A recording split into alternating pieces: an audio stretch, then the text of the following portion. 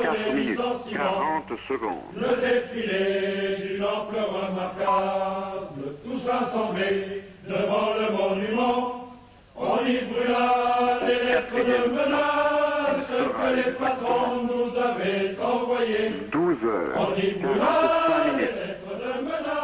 Bonjour, bonjour à tous. En effet, donc en direct euh, d'une mine de fer à Hayange et plus précisément sur le carreau de Conroy en Moselle. C'est à la limite des deux départements de la Moselle et de la Meurthe-et-Moselle. Je suis juché là sur le silo euh, à minerai. Le minerai, c'est ça, vous voyez, c'est ce, ce morceau de, de- de- de pierre avec euh, de- petit truc qui brille à l'intérieur, c'est un morceau de minerai de fer. C'est là que le minerai arrive dans ce silo et qu'il est entreposé avant de repartir dans les wagons que vous venez de voir vers, euh, 12 heures, vers les hauts fourneaux quand 45 les hauts fourneaux en veulent bien. Vous 30 connaissez la situation difficile sur le plan économique de la sidé- sidérurgie lorraine et en fait beaucoup de minerai actuellement ne va pas dans les hauts fourneaux, il est stocké dans la 12 heures, région. Il y a d'énormes stocks, il y a à peu près pour 45 un an de stock de minerai en ce moment. Alors nous allons consacrer une grande partie de ce journal à cette mine de fer, au problème des mines de fer, de la sidérurgie lorraine et euh, à- au déclin de ces mines de fer. Un déclin qui tient en quelques chiffres que je vous donne maintenant. En 62, il y avait 23 000 mineurs qui travaillaient ici à Yange, 62 puits, et on extrayait 35 millions de tonnes de minerais. En 82, 20 ans après, il n'y a plus que 3 700 mineurs. 11 puits et on extrait 20 millions de 12 tonnes. Pour en parler, pour parler de tout ça avec nous, 46 deux invités que 10 Christian Maribono va vous présenter tout de suite. Oui, effectivement, Bernard, euh, nos deux invités que je vous présente rapidement.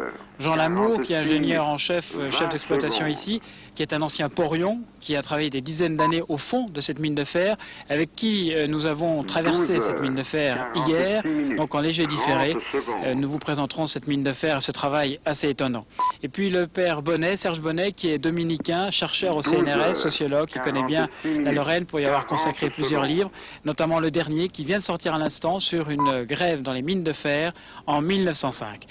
Intitulé de ce livre La ligne rouge des hauts fourneaux. Nous en parlerons donc au cours de ce journal. Voilà, j'ajoute que nous aurons aussi en direct dans ce journal euh, le ministre de l'Industrie, Monsieur Dreyfus, qui dialoguera avec euh, des représentants de la CGT d'ici, d'Ayange. Mais d'abord, les autres titres, les grands titres de l'actualité de ce jour. La fin du voyage du président Mitterrand en Israël. C'est visite ce matin de la ville forte des Croisés, Saint-Jean d'Acre. C'est l'aspect touristique du voyage. Mais nous reviendrons sur la partie politique d'hier et sur cet éton- étonnant duo très contrasté entre le discours des deux hommes d'État, la fougue de Menahem Begin, répondant aux propos soigneusement pesés du président Mitterrand, une fougue qui d'ailleurs n'est peut-être pas étrangère au malaise dont a été saisi Menahem Begin hier soir pendant le dîner que lui offrait François Mitterrand. Mais il y a une deuxième actualité aujourd'hui qui vole la vedette à ce voyage présidentiel, c'est l'affaire Lucet, le suicide du directeur de la sécurité sociale des Bouches-du-Rhône. Comment la tragédie personnelle d'un homme et de sa famille se transforme en affaire, en polémique, évidemment politique et pas du tout innocente. Le dossier est complexe. Et avant de vous donner la parole, Claude Sérillon, vous allez nous montrer tout ce que dit la presse à ce sujet. Je voudrais juste citer cette phrase de l'éditorial du journal régional, celui qu'on lit ici, le Républicain Lorrain, sous le titre Une victime. Cet éditorial euh, écrit, c'est Georges Suffer, l'éditorialiste. Il donne le ton d'ailleurs de l'ensemble de la presse, vous allez le voir. René Lucet considère qu'il ne lui reste plus aucune issue. Il choisit de s'en aller définitivement. Il sera donc le premier mort de la révolution qui se voulait tranquille. Fin de citation. L'homme est transformé en martyr et sa mort en symbole, symbole ambigu. Il se considérait vaincu par un combat politique et le dernier coup que lui porte cette politique impure est de lui voler sa mort. C'est écrit aujourd'hui dans le journal Les Échos.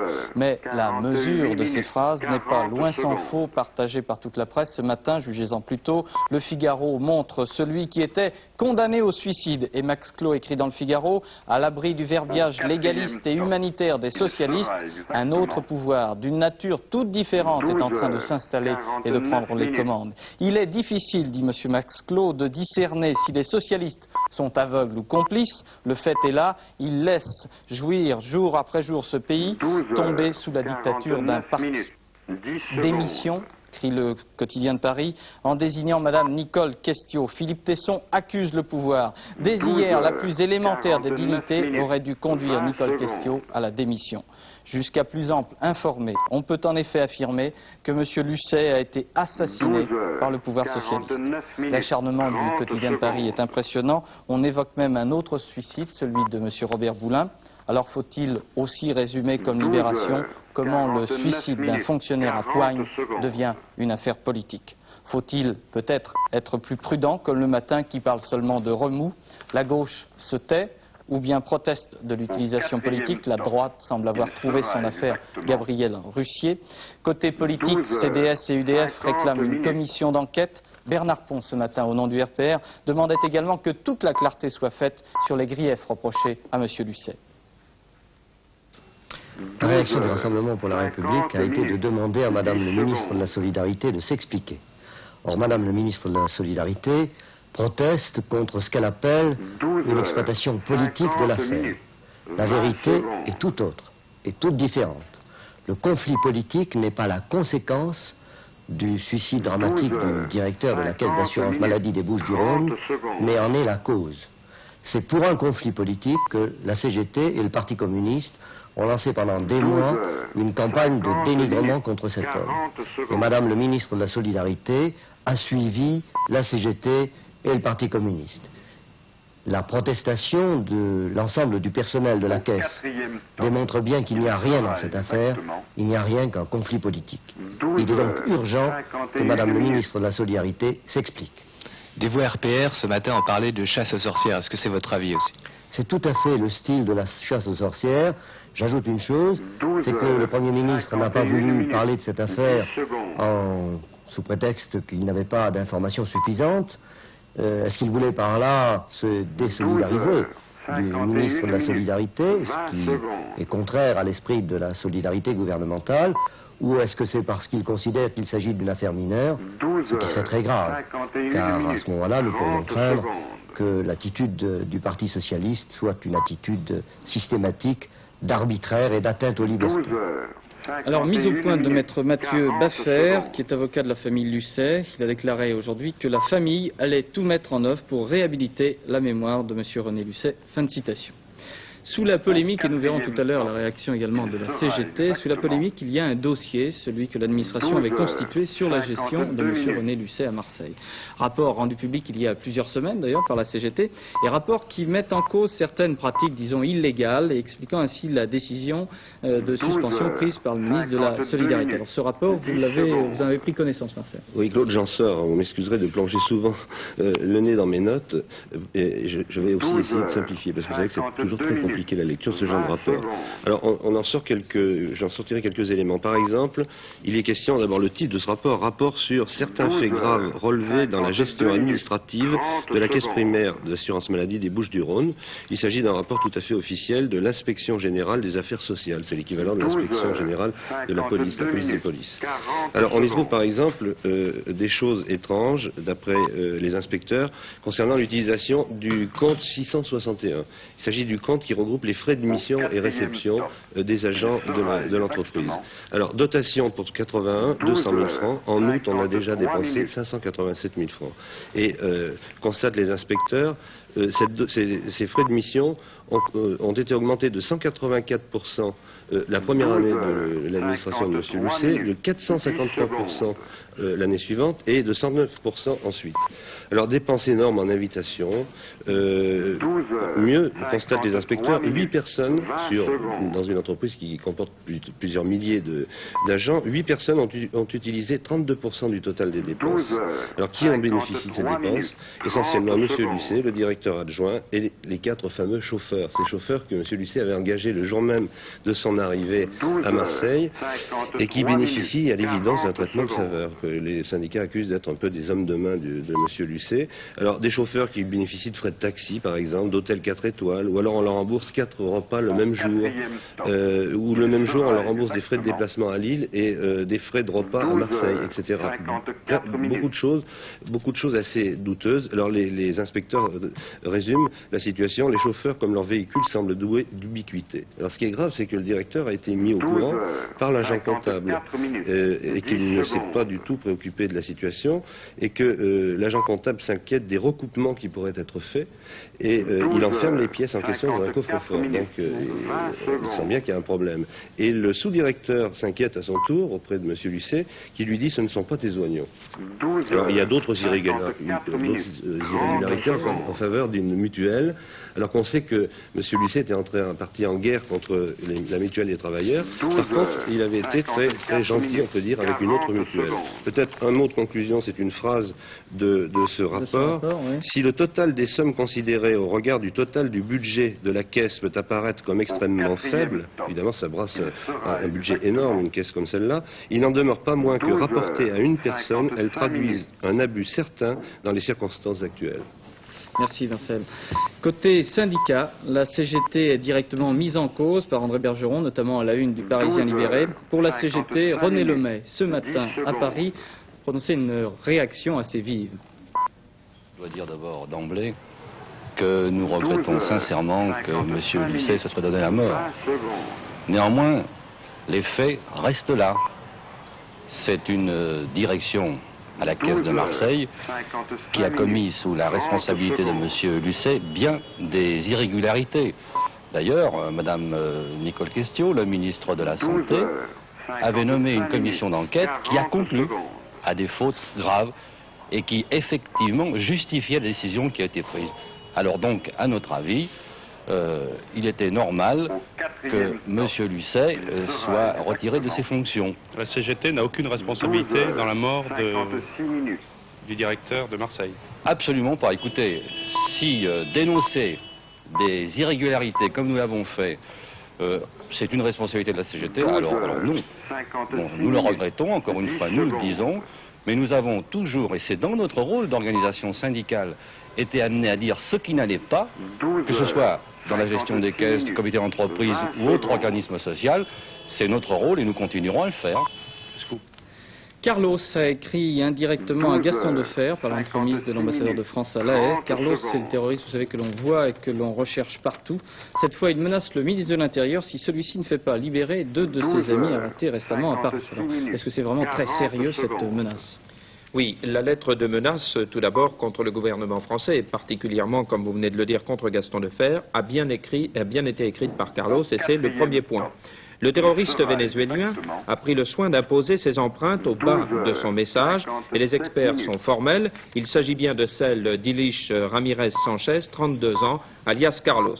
Au ministère de l'Intérieur, on prend donc l'affaire très au sérieux. Dans cette lettre, déposée durant la nuit du 1er mars dans la boîte aux lettres de l'ambassade de France à La Haye, Carlos exige la libération dans un délai d'un mois de deux de ses complices, Bruno Breguet et Magdalena Kopp, arrêtés récemment à Paris dans un parking de l'avenue Georges V. Dans les bagages du couple, les policiers avaient retrouvé des, oui, quatre pains d'explosifs, des grenades défensives, des armes de poing et tout l'attirail de parfaits plastiqueurs, des piles, des fils électriques. L'homme, donc, arrêté 31 ans, est d'origine suisse et sa compagne, 34 ans, de nationalité allemande. Ils sont tous les deux fichés par Interpol comme terroristes internationaux. Carlos affirme dans sa lettre que le couple ne projetait pas d'attentat en France. Carlos, lui, vous savez, est tristement connu. Attentat à la bombe à Londres et à Paris, grenade défensive au Rockstore Saint-Germain en août 74, tir au bazooka un an plus tard contre un avion d'Elal à Orly, exécution de deux inspecteurs de la DST rue Toulier la même année et enlèvement des ministres de l'OPEP réunis à Vienne fin 75. Bref, une réputation d'homme dangereux, déterminé et insaisissable. Première mesure contre ces menaces, le renforcement de la protection de l'ambassadeur de France à La Haye, qui pourrait être la première cible de Carlos dans cette affaire. Pour l'instant, pas de réaction de M. Defer. Pour l'instant, non. Enquête sur le meurtre d'un juge. Les policiers de Marseille dénouent les fils. Ils ont déjà arrêté trois hommes qui seraient compromis dans l'assassinat du juge Pierre Michel. On dit aussi que l'un des commanditaires présumés du meurtre pourrait être identifié. Et l'on ajoute, source policière, qu'il s'agirait d'un parrain de la pègre française soupçonné d'avoir eu quelque intérêt dans l'affaire de la filière de drogue sicilienne instruite par le juge Michel. Un cadavre sous un tas de pierres près de la forêt de Signes dans le Var. Ce serait celui de, de Claude Castellanos, membre du SAC marseillais, ami de Jacques Massier, l'inspecteur de police assassiné avec cinq membres de sa famille au mois de juillet 81 à Oriol. Les policiers cherchent encore le dernier disparu de l'affaire de la tuerie d'Oriol, Yves Courtois, le trésorier du SAC de Marseille. Dernière journée du voyage de M. François Mitterrand en Israël, c'est presque fini pour la politique, matinée calme, puisque le chef de l'État français visitait ce matin Saint-Jean d'Acre, puis le kibbutz. M. Mitterrand doit regagner Tel Aviv en début d'après-midi. Son retour à Paris est prévu pour 19h euh, ce soir. En Israël, pour le compte-rendu de cette matinée de visite, Philippe Arnaud.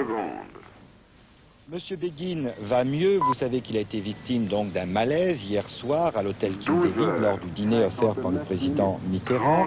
Monsieur Begin a passé euh, toute la nuit à l'hôtel King David. Ses médecins sont restés près de lui et ce matin, ils expliquent ce, ce malaise par le surmenage. Il est vrai que l'emploi du temps du Premier ministre a été très chargé avec euh, la visite du président de la République française en Israël et puis la veille, le débat à la Knesset sur les problèmes de Yabit. En principe, Monsieur M. Begin devrait garder un repos complet pendant plusieurs jours, mais dès ce matin, il avait tenu à recevoir M. Claude Chesson pour euh, dissiper avec lui certains malentendus. Vous savez que certains propos ont été prononcés ces temps derniers par les deux hommes. Euh, M. Chesson avait demandé à rencontrer M. Begin. Eh bien, cela a été fait ce matin. M. Begin, donc, n'assistera pas à la cérémonie tout à l'heure qui marquera la fin du voyage officiel du président Mitterrand. Ce voyage se termine alors qu'en Israël on est toujours euh, satisfait. On estime que les nouvelles retrouvailles franco-israéliennes prennent le pas sur les problèmes politiques et diplomatiques tels qu'ils ont été exprimés ici. Et voici Saint-Jean d'Acre dans le nord du pays qu'a visité ce matin M. Mitterrand. Saint-Jean d'Acre qui fut la capitale du royaume latin de Palestine au XIIIe siècle. Aujourd'hui c'est une ville de 40 000 habitants dont un quart de musulmans et de chrétiens.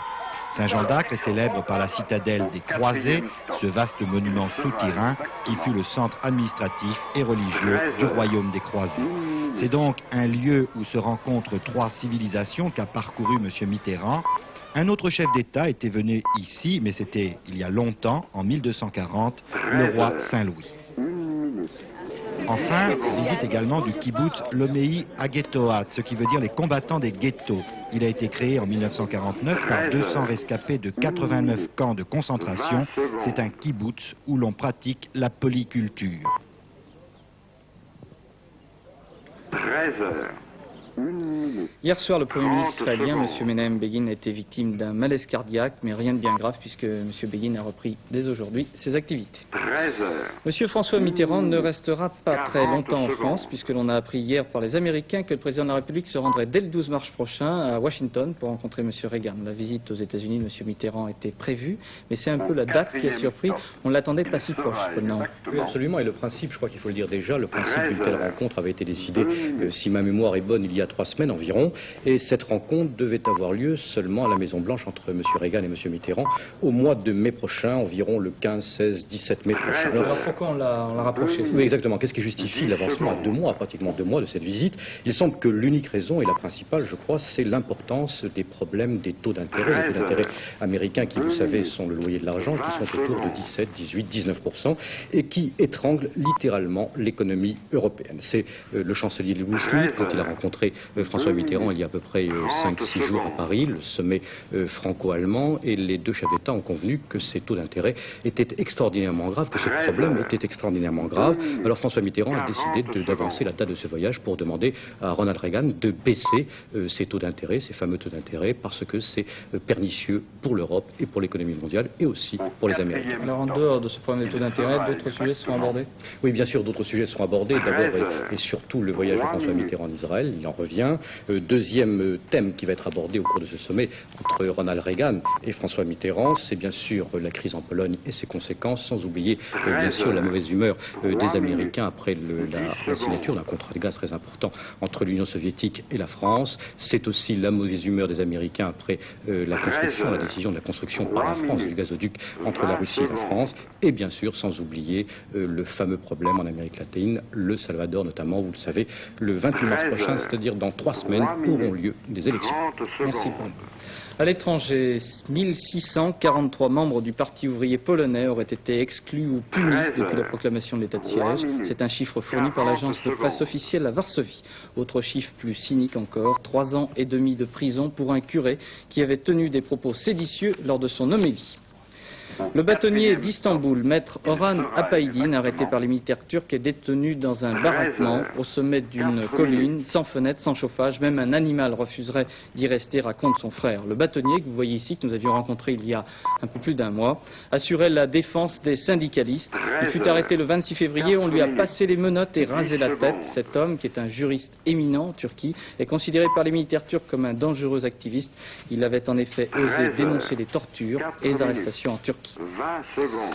Pierre Mauroy est en Belgique après avoir rencontré jeudi le Premier ministre, M. Wilfried Martens, et évoqué avec lui l'affaire de la centrale de choses, notamment les problèmes économiques européens. M. Pierre Mauroy aujourd'hui n'aura pas la tâche facile avec la Commission européenne et la question agricole, d'autant que la Cour de justice européenne ce matin a condamné la France à dédouaner les 340 000 hectolitres de vin italien actuellement retenus. À Bruxelles, pour Antenne 2, Maurice Werther. Les entretiens de M. Mauroy avec euh, la Commission du marché commun seront sans doute un peu plus difficiles que ceux d'hier avec le Premier ministre de Belgique.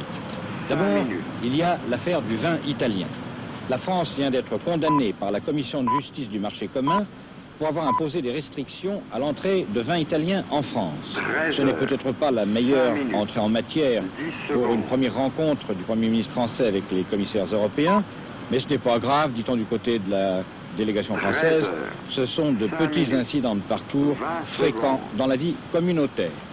Autres problèmes épineux, les prix agricoles, la contribution financière de la Grande-Bretagne et en général le marasme de la communauté aggravé par la crise économique mondiale. Ce matin donc, M. Mauroy devait faire un exposé sur la politique économique et sociale de la France. en soulignant que le marché commun pourrait trouver un deuxième souffle avec des politiques plus dynamiques, par exemple en matière sociale. Peut-on envisager une harmonisation des politiques sociales des 10 avec pour objectif la semaine de 35 heures? Voilà quelques-unes des affaires délicates qui devaient être examinées ce matin et discutées par M. Mauroy et les 14 commissaires européens dans l'immeuble de la Commission. qu'on appelle le palais Berlaymont à Bruxelles. En politique, un sondage, un de plus, celui de la Sofres pour un groupe de journaux de province. C'est un sondage à propos des cantonales. Il paraît que 57% des Français s'y intéressent, mais il paraît aussi que 47% seulement ont déclaré savoir que les conseillers généraux sont élus au suffrage universel. Ah, pour ces cantonales et dès lundi prochain, dans les journaux de 13h et de 20h, d'antenne de midi et de 20h, les élections cantonales toute la, toute la semaine avec des reportages sur euh, les partis en campagne, les personnalités qui se présentent. Et puis dimanche soir, soir du premier tour, euh, pour la première fois lors des élections, lors d'élections cantonales, pardon, les premières estimations à 20h avec C2I, Honeywell Bull sur antenne 2, donc dès le premier tour. Renault aurait perdu 900 millions de francs en 1981 selon des estimations provisoires de la régie automobile publiées aujourd'hui. Mauvais résultat attribué à la baisse de production, mais la régie Renault se console en constatant qu'elle a maintenu sa place au quatrième rang des constructeurs automobiles mondiaux. 4 millions de fonctionnaires dans quelques mois, c'est le pronostic d'Anis Lepors, ministre de la fonction publique. La France est sous-administrée, a-t-il dit. Il n'y a pas trop d'infirmières et pas trop de postiers. Rubrique sportive, deux petites annonces. Du tennis avec France-Argentine euh, en Argentine pour le premier tour de la Coupe Davis. Yannick Noah est opposé à Guillermo Villas dès cet après-midi. La France a une petite chance de gagner face à l'Argentine parce que les mauvaises langues ajoutent que c'est possible puisque José Luis Claire, le meilleur argentin, est indisponible. De la boxe, euh, championnat des lourds ce soir à Paris, un Belge Albert Siben face à un Français euh, Lucien Rodriguez au stade Pierre de Coubertin ce soir.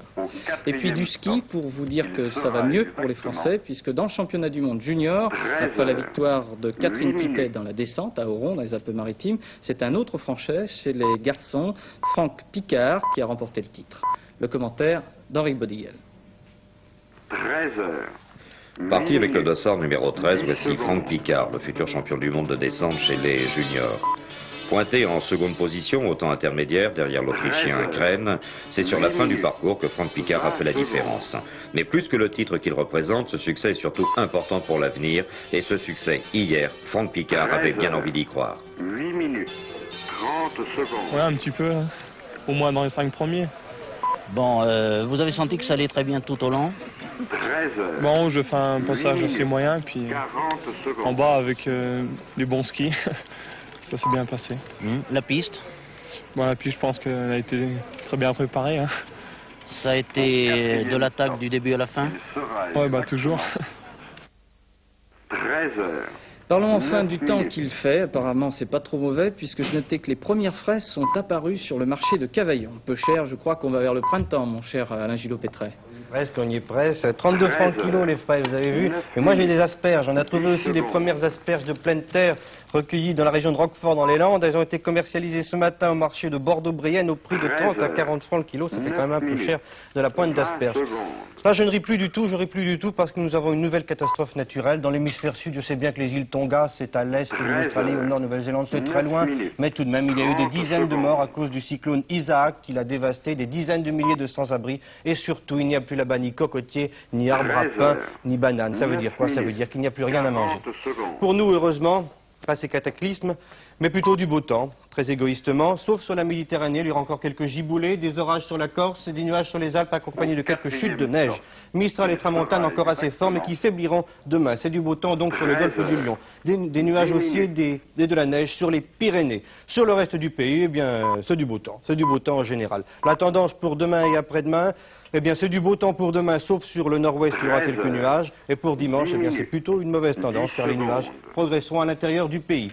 Les températures prévues pour cet après-midi, ce n'est pas que le fond de l'air soit tellement doux, mais il y a du soleil, donc les températures vont monter de 10 degrés dans le nord à 14 degrés en Corse, 7 degrés à Strasbourg, 10 degrés à Brest.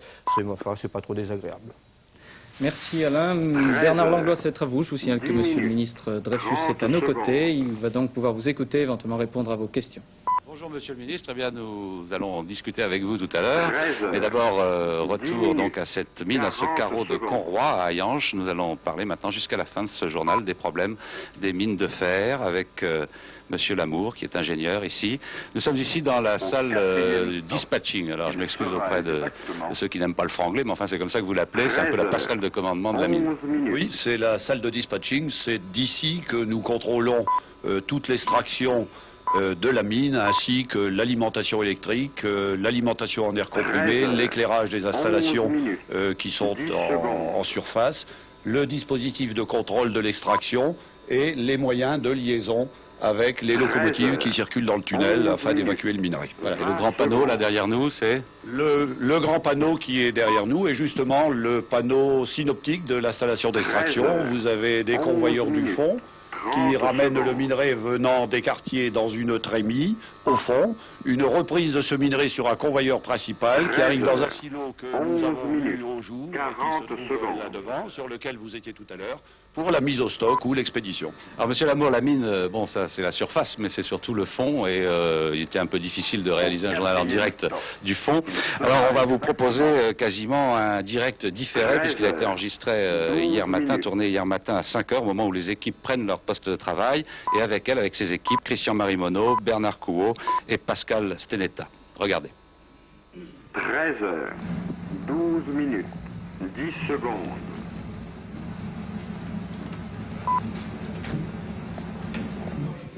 Treize heures, douze minutes, vingt secondes.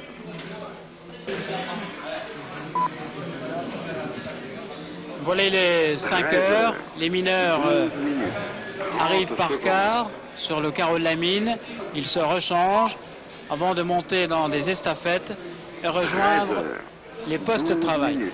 Auparavant, nous assistons à une réunion des porions, ce sont les responsables des équipes, et qui distribuent le travail entre chaque poste.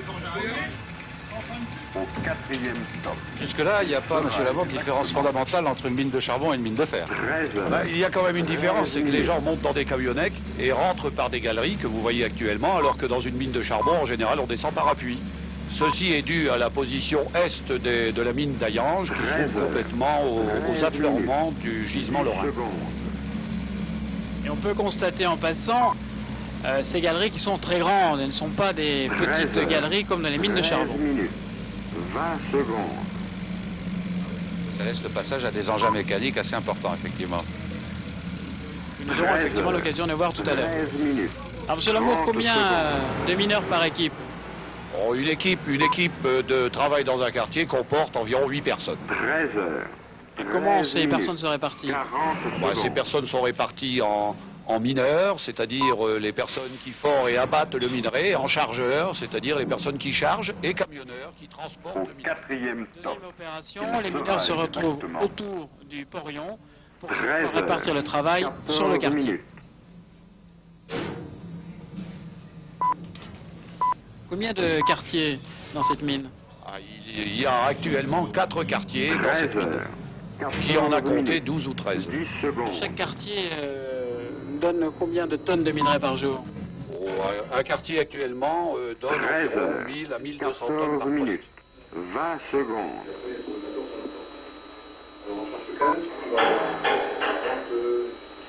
13 heures, 14 minutes, 30 secondes.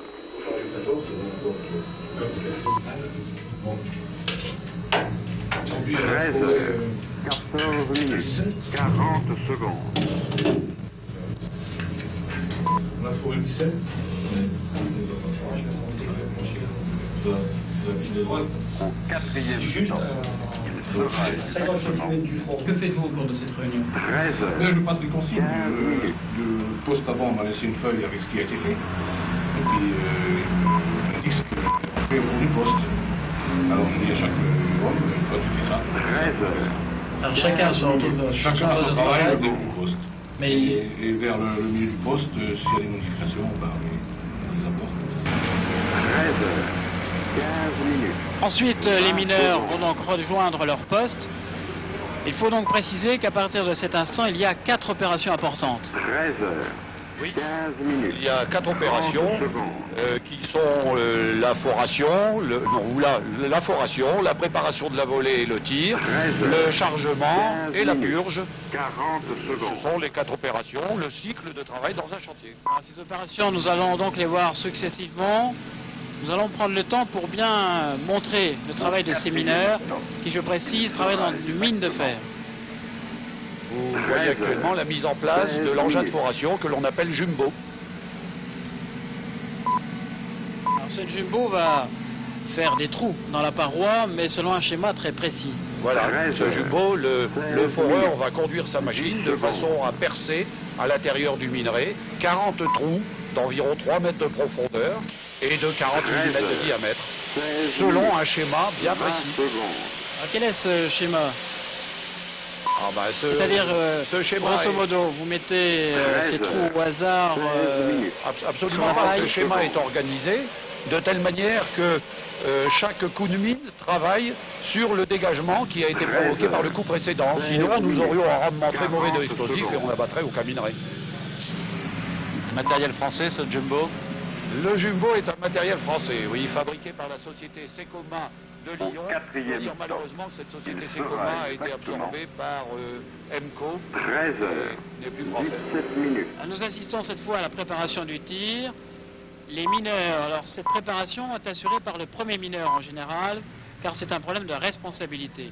13 heures. Alors là, il y a une petite 17 histoire minutes. très intéressante, 10 c'est que euh, ces explosifs que vous mettez, c'est un produit typiquement de cette mine. Alors, les- 13 l'explosif heures, que nous utilisons, c'est 17 un explosif à l'oxygène 20 liquide. Et c'est un explosif euh, typiquement ayangeois, peut-on dire, puisque c'est un ancien directeur de la mine d'Ayange, M. Weber, qui a 13 inventé cet explosif et l'a mis au 17 point. Il a 30 secondes. été pratiquement utilisé dans toutes les mines de fer pendant très longtemps. Et puis il a subi la concurrence du nitrate 13 fluide. heures, Et actuellement, il n'y a 17 plus que trois mines, 40 la mine de- d'Ayange, de Mairie et de Droite-Aumont, qui l'utilisent dans les mines de fer. Quel est l'avantage euh, de ces explosifs par, rapport- par rapport à l'explosif traditionnel? Alors l'avantage de cet explosif, c'est qu'il est bon marché, euh, qu'il est fabriqué avec des matières euh, qui sont euh, tout à fait locales, puisque l'oxygène, tout le monde en a. Euh, le reste, c'est pratiquement de la farine de bois et de la sciure qui nous vient des Vosges. Euh, par conséquent, c'est un produit local. Il a un inconvénient majeur qui malheureusement a conduit à sa, euh, presque à sa disparition, c'est que c'est un explosif qui n'est pas permanent. Nous n'avons que 10 minutes pour l'utiliser. Nous constatons qu'actuellement le camion se retire assez rapidement, car effectivement le délai est assez court.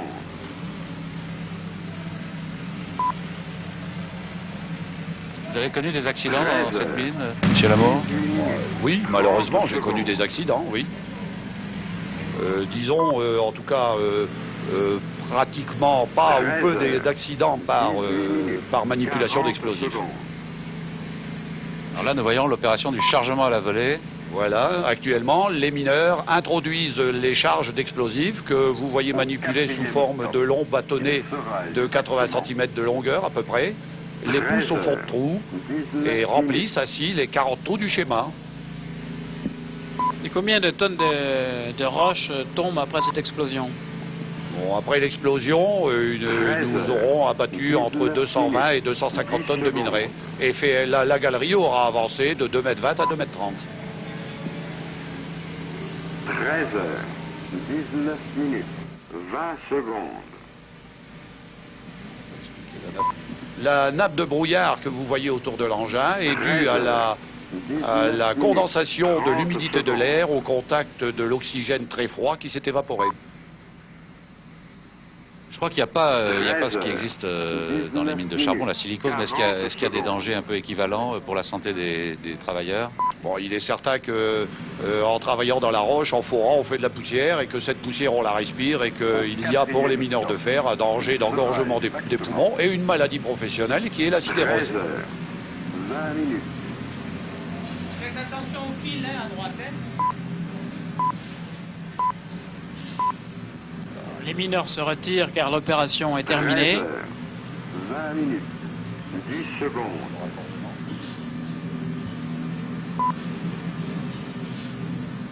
Ultime vérification 13 pour s'assurer que le circuit 20 électrique minutes, 20 est bon, le raccordement. C'est toujours le premier mineur qui euh, appuie sur le détonateur. Le premier mineur, si vous voulez, plus qu'un poste de compétence, c'est un poste de responsabilité. Le premier mineur a un certain nombre de consignes, il doit sortir le dernier du chantier et s'assurer qu'avant mise à feu, 13 heures. euh, toutes les personnes sont garées, toutes les issues barrées. 40 secondes. Et lui seul détient le dispositif de mise à feu.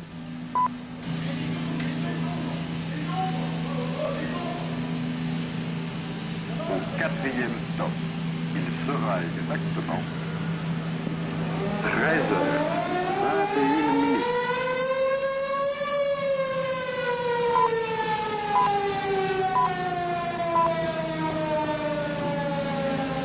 Treize heures, 21 minutes, 10 secondes.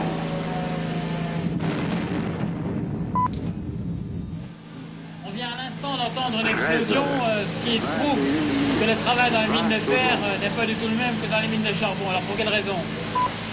Le minerai de fer, le minerai de fer est exploité, surtout en minerai calcaire, essentiellement par euh, le tir à l'explosif. La raison en est simple, c'est que euh, les mines de fer sont dépourvues heureusement de grilles et que l'emploi de l'explosif est relativement euh, de sécurité. Alors, Quels sont les types d'accidents auxquels sont sujets les mineurs Alors, l'accident typique du mineur dans les mines de fer, c'est l'accident par chute de bloc, que nous redoutons toujours autant parce qu'il entraîne, euh, sinon la mort, au moins des invalidités permanentes importantes. Ce qui explique qu'il n'y a pas d'étayage dans les mines de fer, mais des boulons qui serrent ensemble les parois. Euh, la suppression de l'étayage dans les mines de fer a permis toute la mécanisation. Et il a fallu remplacer le, le soutènement par été par un soutènement suspendu qui est le soutènement actuel par boulonnage du toit. Un boulonnage efficace Alors c'est un boulonnage efficace. Il, euh, il assure une sécurité permanente sur la chute des petits blocs, comme on dit. Et en plus, il permet par le raidissement de la première poutre au toit euh, de disposer d'un temps suffisant pour travailler normalement en dépilage. Autre opération cette fois, c'est le chargement. Au quatrième stop, il sera exactement 13 heures, 23 minutes.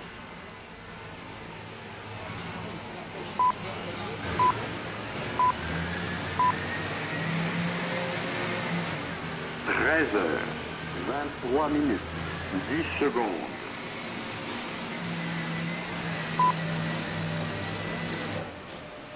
Treize heures, 23 minutes, 20 secondes. Voilà le... Vous voyez euh, des grandes pelletées dans ces camions qui peuvent transporter chacun près de 35 tonnes. 30 secondes. Voilà, monsieur Lamour, vous la reconnaissez bien, votre mine, sur ces images Ça correspond bien à la réalité? Absolument, absolument. Je trouve que c'est très, très bien, très joli pour ma part. Je veux faire remarquer quand même que le godet de la machine que vous avez vu se déverser euh, représente pratiquement la moitié du travail d'un mineur à main avant, c'est-à-dire à demi-poste de travail de mineur à main. 6 tonnes. 13 heures, 24 minutes. Alors autre opération, cette fois le purgeage. On pourrait peut-être expliquer un peu plus clairement. Bon, nous avons vu tout à l'heure le, le chargement et le tir d'une volée. Nous avons dit qu'il y avait 250 tonnes de minerais abattus. Il est certain qu'après ça, les parois de la galerie et son toit ne seront pas particulièrement propres, propres en termes miniers, c'est-à-dire euh, euh. Par conséquent, nous faisons venir une machine qui est chargée du purgeage, c'est-à-dire de l'abattage de tous les blocs douteux et qui pourraient être, en- qui pourraient être dangereux pour le personnel qui viendrait continuer le travail par la suite. Alors ces machines sont récentes d'ailleurs, c'est la, la dernière opération qui a été mécanisée dans les mines de fer. Est-ce que ce type de machine pourrait être utilisé dans une mine de charbon? Euh, je ne pense pas, non. Non, les problèmes ne sont pas du tout les mêmes. Ces machines sont relativement récentes. Ah oui, oui, ces machines sont récentes. Les, les premiers essais de purgeage mécanisé ont été faits en 71. Donc il y a, il y a un peu Et plus de puis, 10 ans. euh, il y a un peu plus de 10 ans, et on peut dire que pratiquement à la mine d'Ayange, il y a déjà 5 ans que nous sommes mécanisés à 100% pour ce travail. Alors, avant, c'était donc un travail uniquement humain. Alors avant, c'était un travail humain, très pénible, et qui finalement euh, euh, devenait presque impossible à réaliser. Et ce travail humain, Monsieur Lamour, vous l'avez connu, vous, euh, parce que vous êtes ingénieur, mais vous avez, vous êtes un ingénieur sorti du rang, si j'ai bien compris. 25 minutes. 30 secondes. Alors, à- par l'intermédiaire des banques, il arrive au jour. De là, il est soit mis en stock, soit expédié vers l'usine d'Ayange. Alors votre sentiment, c'est de même souhaiter que ce minerai soit acheté. Oui, bien sûr, on voudrait que les sidérurgistes nous prennent ce minerai en plus grande quantité. Seulement, euh, c'est un problème qui ne dépend pas euh, que des sidérurgistes et qui va au-delà. Alors actuellement, vous avez plus de stock que vous n'en vendez. Exact, on a actuellement à Hayange en stock une, pro- une production d'un an de minerai. Alors une production qui diminue alors que la productivité a augmenté considérablement. Exact, si on parle productivité, disons qu'il y a 25 ans, le rendement fond et jour était d'environ 10 tonnes, alors que maintenant il passe les 45 tonnes. 13 heures. 26 minutes. Vous avez remarqué comme Christian Marimono est beau en combinaison bleue avec son petit casque. 13 heures. 26 minutes. 40 secondes. Voilà, ce minerai sort euh, à l'endroit où vous avez rencontré Bernard Langlois tout à l'heure. Ce minerai, malheureusement, n'est pas toujours vendu. Nous aurons l'occasion euh, d'en reparler, mais très souvent stocké euh, de longs mois. On va tout de suite parler de, de- de ces problèmes économiques, mais d'abord peut-être euh, on va demander à l'historien de la mine euh, s'il peut nous, nous expliquer en quoi justement ces conditions ont, chan- ont changé depuis ces dernières années, ou qui, vous, vous qui avez suivi tout ça de très près. Bon, c'est assez simple de, de comprendre en regardant le, le- le très beau film que vous avez tourné que on est passé de, de, de métiers qui au fond de la mine étaient euh, au début de- des années 1900 étaient des métiers de terrassier à, à des métiers de, de techniciens et euh, c'est- tout le passage du, du forage à main au jumbo, c'est pour le purgeage, la- le- il n'y a plus de boisage, c'est le, le- le boulonnage au toit, etc. Enfin, c'est- complètement un métier qui a complètement changé. On a toujours le même Le terme. grand tournant se situe quand à peu près euh, Oh, ça, il y a eu, eu toutes sortes de données. Encore en 38, on avait le, le boisage avec les chandelles, on avait, et puis dans les débuts des années 50, alors là, on a eu une, une, euh, enfin, une mécanisation qui, selon les mines, a été plus ou moins rapide, mais qui, sur l'ensemble du bassin, a été très importante et euh, a changé beaucoup et la productivité et puis les conditions de travail de tous les hommes. Voilà, et malgré donc tous ces progrès techniques, malgré cette productivité en, en forte hausse, ben, il y a la crise dans, la- dans les mines de fer, comme il y a la crise dans la sidérurgie. On va essayer d'expliquer pourquoi maintenant, et on va voir aussi quelles conséquences cette crise a pour toute une région, cette région du nord de la Lorraine. 28 minutes. 20 secondes. En passant par la Lorraine, vous découvrirez ces puits de mines de fer 13 heures. désaffectés, abandonnés, rouillés, symbole d'une politique industrielle qui ne tenait pas compte du facteur humain. En 20 ans, les mines de fer ont perdu 20 000 salariés. Dans le même temps, 50 puits ont été fermés et la production tombée à moins de 20 millions de tonnes par an. Aujourd'hui, il ne reste plus que 3 700 mineurs âgés de 33 à 47 ans et pas de relève dans l'immédiat. Dans le bassin, à la déception s'ajoute la colère car l'avenir leur paraît bien sombre. 13 heures. Minette, Lorraine, c'est pas 29 fini. Il y a encore il y a encore de l'avenir pour la minette Lorraine. Ça ne s'arrête pas là à une histoire terminée. Le Texas et compagnie, c'est passé, une nouvelle histoire, c'est celle de la reprise des mines. Et diable, mon roi a dit jusqu'en 1985, la présidence de la République qui a dit ça. Mais on leur demande beaucoup plus. On a permis qu'ils soient là où ils sont, mais maintenant il faut qu'ils nous rendent le service qu'on leur demande de rendre. Et le service là, ils doivent le rendre à tous les travailleurs qui les ont amenés là où ils sont aujourd'hui. Voilà. 13 heures. Personne ne conteste les raisons essentielles qui ont conduit les mines à cette faillite. La faible teneur en fer de la minette Lorraine, l'arrivée des minéraliers avec les importations, et puis la crise de la sidérurgie après le choc pétrolier de 1973. À cela s'ajoute le coût social très lourd, l'entretien des puits abandonnés et le nombre de retraités, quatre fois plus important que les actifs. Le coût social représente 20% de la masse salariale, un poids dont se passeraient bien les mines. Alors, que faire? Le gouvernement se propose de prendre le coût social à sa charge, mais ce ne sera pas suffisant. L'horizon 85 est très proche. 13 heures. 30 minutes. Monsieur Jean Corradi nous a rejoint ici dans cette salle de contrôle. Monsieur Corradi, vous êtes euh, délégué CGT pour l'ensemble de la, de la région euh, des mines de fer de Lorraine. Et euh, donc le ministre euh, vous entend maintenant. Il est prêt à dialoguer avec vous. Le débat va s'instaurer entre Monsieur Dreyfus et Monsieur Corradi. Pierre, euh, Christian Marimono va nous poser la première question. Oui, monsieur le ministre, euh, Pierre Mauroy, le Premier ministre, a reçu la semaine dernière une délégation d'élus de la région. Il a abordé plusieurs problèmes, et notamment les mines de fer. La seule réponse qu'il ait pu apporter à cette question était la suivante, pas de fermeture d'ici 1985. Or, vous savez, monsieur le ministre, que les mineurs sont âgés, le plus jeune a 33 ans, le plus âgé 47 ans. En 85, la moitié des mineurs sera donc en retraite. Donc on va fermer les mines ou au contraire on va maintenir ces mines Bien, je, je dirais que le président de la République lui-même a répondu à cette question quand il a fait son voyage en Lorraine en octobre, si je me souviens bien, j'étais à côté de lui, je l'ai entendu dire qu'il était important pour la France de conserver un approvisionnement en minerais de fer national, qu'en conséquence, l'on ferait le nécessaire que les mines de fer continuent. Précisément, quelles mesures comptez-vous prendre Car il y a plusieurs mesures possibles. La limitation des importations des minerais de fer étrangers et puis surtout la formation professionnelle, donc l'embauche dans ces mines ici en Lorraine, car vous savez qu'il n'y a plus d'école, plus de formation et plus d'embauche. Oui. Euh, vous, vous venez d'évoquer les difficultés du, du minerai lorrain, qui sont des difficultés réelles. À l'heure actuelle, euh, la minette lorraine est chère parce qu'il faut la nettoyer, il faut la sécher, et la sidérurgie française doit être compétitive. Il y a là aussi des emplois à sauver. Alors, euh, le gouvernement a commencé à prendre des mesures très importantes en faveur des, des mines de fer. Vous en avez évoqué une, la prise en charge des charges sociales, des charges de retraite. Effectivement, il y avait 20 000 mineurs là où il n'y en a plus que 4 000 aujourd'hui. Par conséquent, euh, il faut que l'État intervienne, comme il l'a fait d'ailleurs pour la SNCF.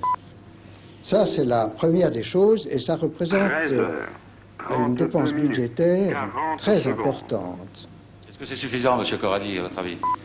Ce que nous attendons du gouvernement, euh, du gouvernement de gauche, c'est que, euh, bien sûr, euh, qu'un certain nombre de dispositions, comme vient de l'indiquer Monsieur le ministre, soient prises. Mais euh, nous demandons euh, qu'on réponde euh, en définitive à la question que nous avons posée. Euh, Est-ce qu'on veut maintenir en activité les mines de fer françaises, celles de Lorraine et aussi celles de l'Ouest?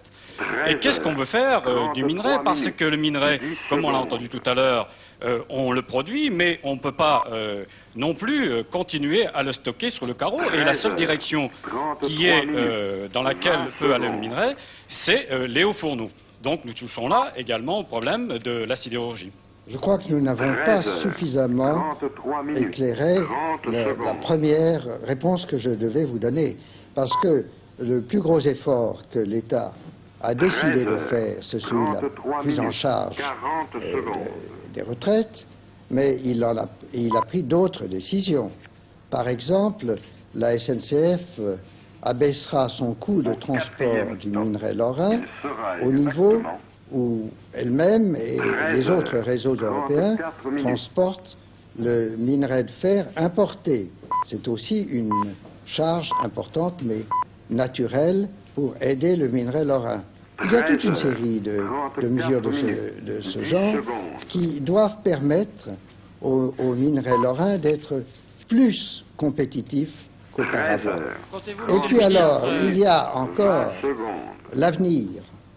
Et je vous dirai tout de suite que l'avenir, nous y pensons, la meilleure preuve, c'est que les dépenses d'études de l'Institut de recherche sidérurgique euh, vont être énormément augmentées. Et c'est ça l'espoir que doivent avoir les mineurs lorrains, c'est que l'on trouve un moyen de nettoyer et de sécher le, la minette dans de meilleures conditions dans les années qui viennent. Enrichir le minerai lorrain, en quelque sorte. Enrichir le minerai lorrain. Nous, attendons à cet effet euh, du gouvernement, euh, non pas euh, le déblocage de sommes, ou non pas l'engagement d'un effort financier qui pourrait conduire l'ensemble de la corporation à une mort douce, mais des solutions, je dirais, politiques d'abord et économiques ensuite sur les questions fondamentales que nous avons posées. par exemple, nous avons proposé depuis le mois de juillet qu'on étudie la possibilité de la réduction des importations de minerais étrangers qui alimentent pour les deux tiers actuellement la sidérurgie française. Nous avons proposé une réduction de 10%. Euh, c'est une solution qui nous paraît euh, possible et euh, nous, ne demandons pas la Lune en posant cette question parce que je reviens donc au problème qui est posé. Le minerai de fer, lorsqu'il est produit, il faut bien qu'il soit utilisé et qu'il soit utilisé dans les fourneaux. On ne peut plus stocker. Il y a actuellement plus de 7 millions de tonnes de stock rien que sur les carreaux des mines dans l'Europe. Monsieur le ministre, à la question sur les importations, est-ce qu'on peut apporter une réponse précise Il ne faut effectivement pas produire pour stocker. Il faut produire en, fonction des besoins de la sidérurgie. Or, nous sommes en train de mettre sur pied un plan de la sidérurgie et nous avons établi un calendrier. Ce, ce plan va être, en gros, mis en place entre le mois d'avril et la fin juin. Et bien entendu, les organisations ouvrières seront tout le temps consulter, il y aura une concertation permanente d'un bout à l'autre de l'avancement du travail. Monsieur le ministre, si vous voulez bien, on va reprendre cette discussion dans un instant, mais on va d'abord regarder un sujet qui montre justement ce problème des importations étrangères. Ça date de, à peu près de 61, et euh, c'est l'époque où ont commencé à arriver les premiers euh, minéraliers qui transportaient le minerai de pays comme le Brésil ou la Suède ou la Mauritanie. Regardez, c'est un sujet de Guy Schwartz. 13 heures, 37 minutes.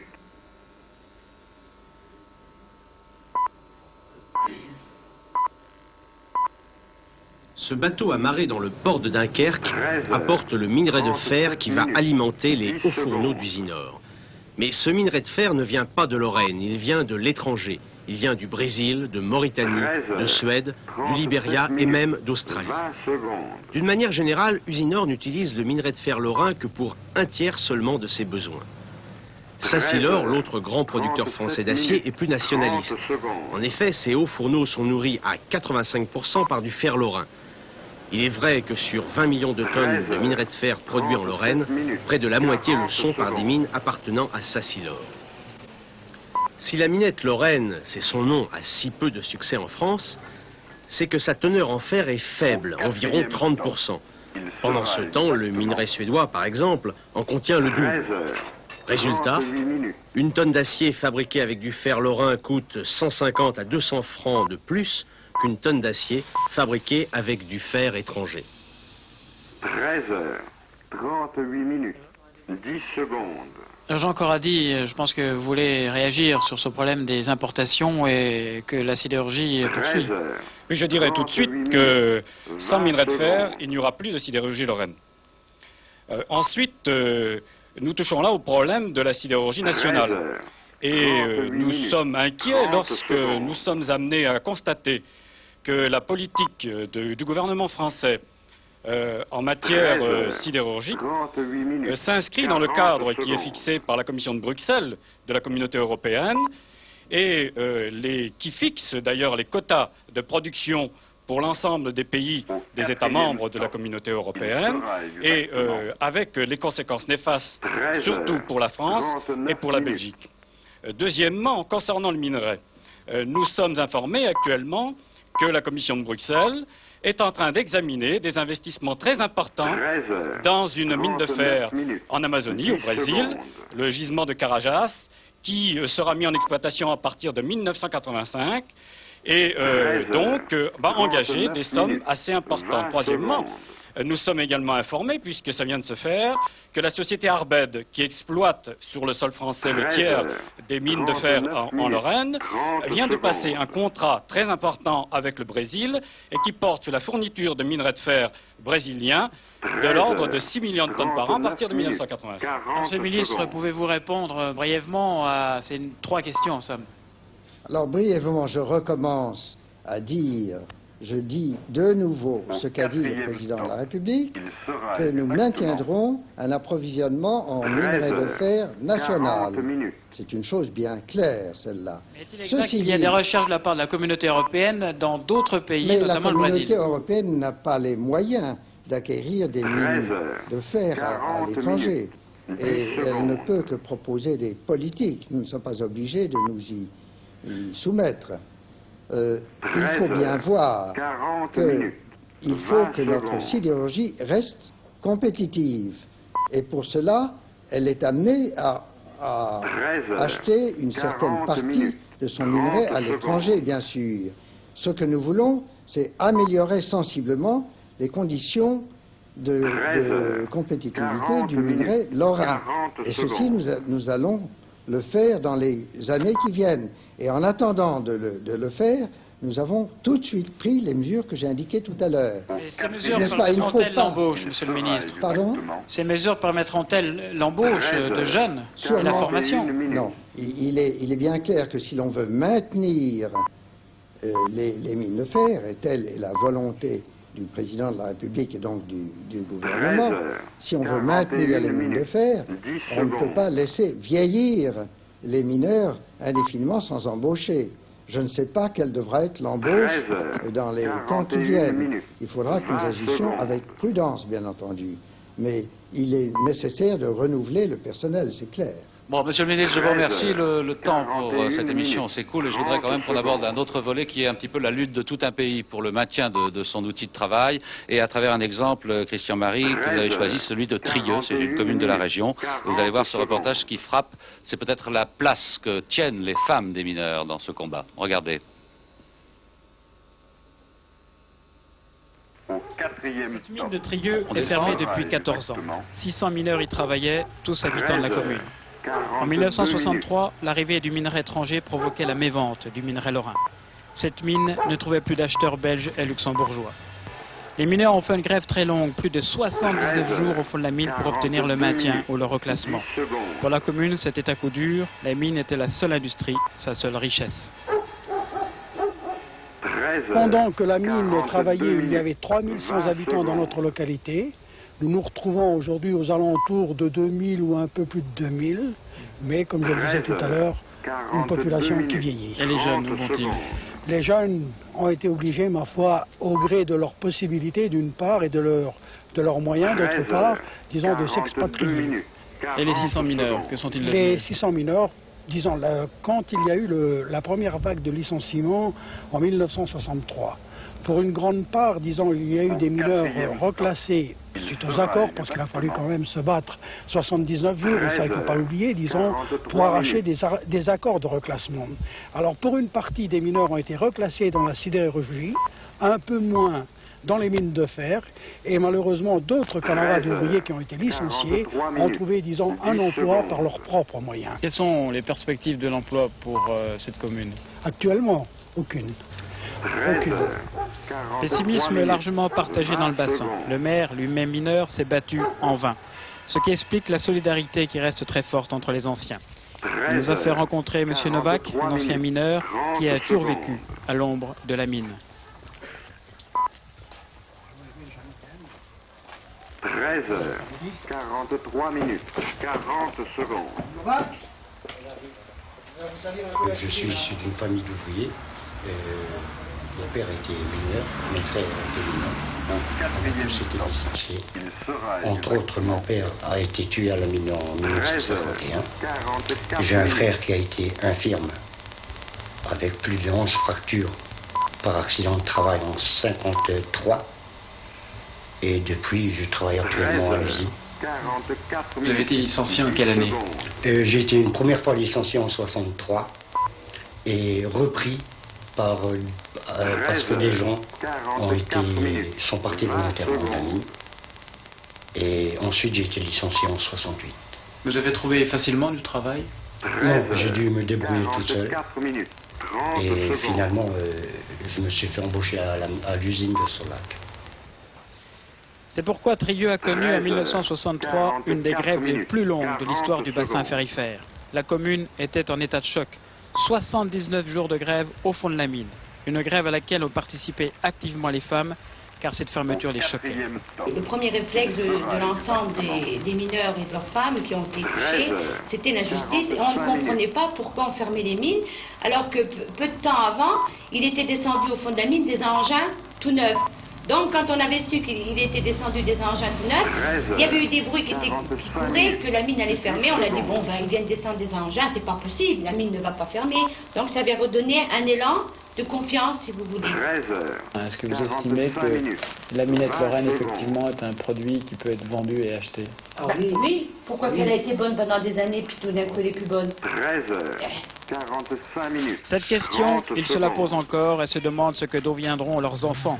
Peut-être choisiront-ils l'exode, comme beaucoup de jeunes. Même si, à Tucnieux, le village voisin, qui compte encore une mine en activité, mais pour combien de temps encore?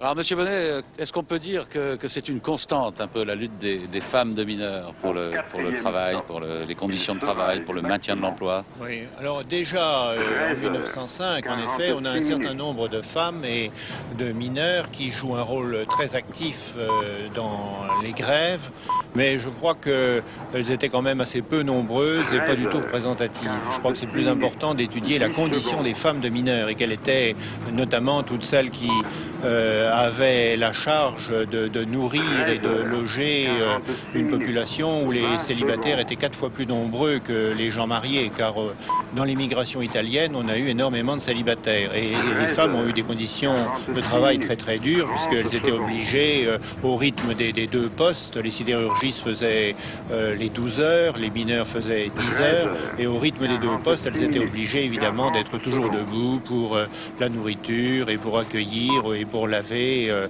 le- tous les, les effets de- des mineurs. Serge que Bonnet, c'est- vous insistez d'ailleurs dans votre livre